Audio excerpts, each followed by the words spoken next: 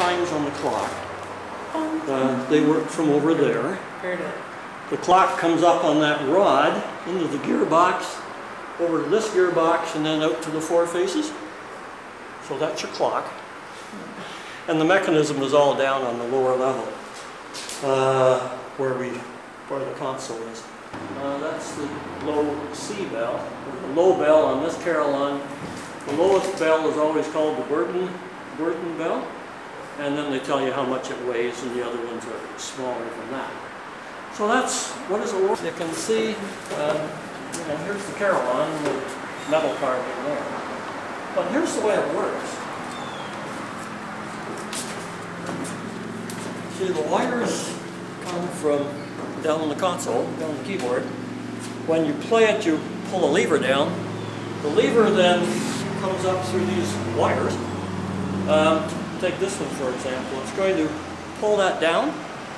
So that's a rod all by itself, kind of an angle iron here. Rotates here. As you pull this down, yeah, cover your ears and open your mouth or whatever. Surprise! Okay, so this comes across rod then, and the wire for this bell. So when that's turned, this gets pulled back and it pulls the Clapper. over against the bell. The hammers that you just saw strike on the outside, that's the clock. The clock hits with hammers on the outside. oh, yes. And the player, the Carillonneur, um, plays with the clappers in here, and then the spring shoots it back. So you end up, um, you know, if you get it down and let go, or throw the key down actually, then the, the bell comes over, or the clapper comes over, hits the bell, and bounces right back. So it doesn't tend to be deadened at all. And a bell is an interesting thing. You kind of give it a tap there, you'll hear the bell. Well, that's kind of like what the clock is doing. It's the hammer there. But it hits there. Sometimes you can hear some of the harmonics. Can you hear anything? Well, actually, if the hammer hits hard enough, Wow. You've got three notes that you'll probably make out, especially when you're outside in the park listening to somebody play.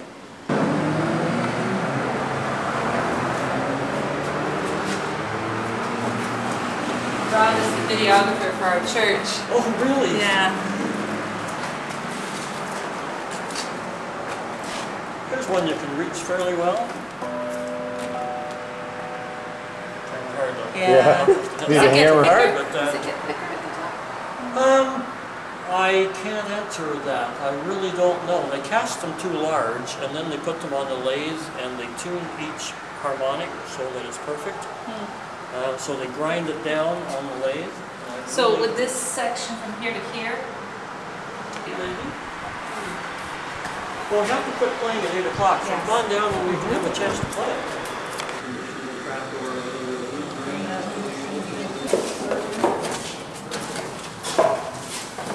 quite the opportunity. It sure is. Yeah.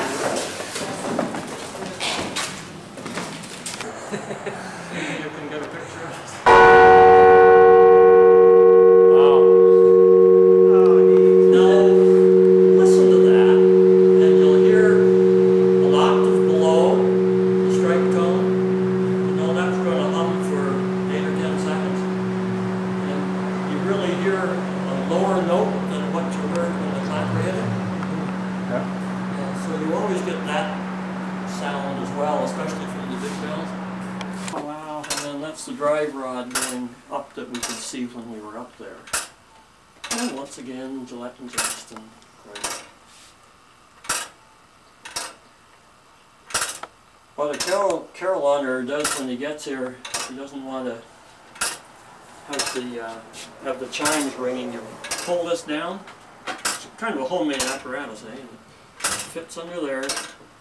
And now the mechanism won't actually ring the bells when it um, when it tries. You'll you'll hear the works banging away up there, but there won't be any bells interfering with your notes.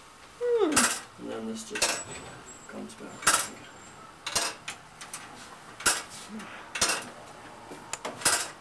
So do you So is that electrical motor, motor? Yeah, it's got runs on- electrical motors, it goes out of whack if the, uh, if the power shuts off and somebody has to come in and adjust the clock. And here's the man who's coming tomorrow. He's really a very, very pleasant fellow. Well, it runs on steam as well, I honestly don't know. But here's the old player piano type idea, only it's making electrical contacts there. Mm, Yeah. June nineteen fifty-three. Mm-hmm. Leroy Broughton and his brother Ross, they're in the guest book. You guys have to sign the guest book. Oh, okay.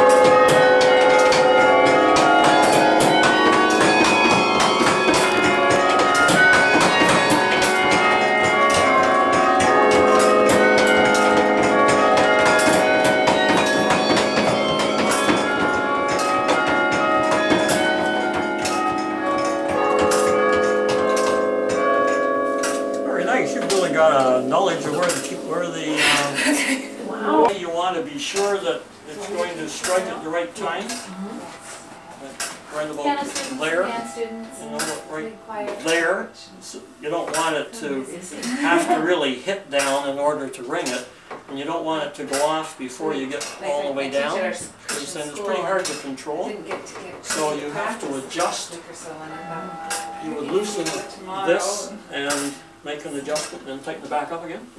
So you can actually pull these up and down a little bit. so that This is, uh, This Ashton's rings at the right time. music. Well, let's hear you. Yeah. I've been,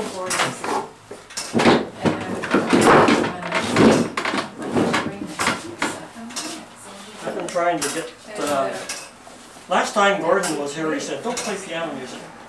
Um, Because it tends to, you know, like if you played those two notes at the same time, for example. know, but it's one of my very favorite pieces. You know, You've got this note trying to ring a minor third, which is a B flat. weddings.